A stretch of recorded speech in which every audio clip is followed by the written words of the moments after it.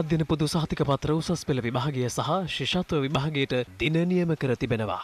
අධ්‍යාපන පොදු සහතික උසස් පෙළ විභාගය මේ අවුරුද්දේ පැවැත්වෙන්නේ නොවැම්බර් පාලොස් වන සඳුදා සිට දිසැම්බර් දහවෙනි සිකුරාදා දක්වා. ඒ වගේම පස්වන ශ්‍රේණී ශිෂ්‍යත්ව විභාගය මේ අවුරුද්දට අපි පවත්වන්නේ නොවැම්බර් දාහතර වන ඉරිදා.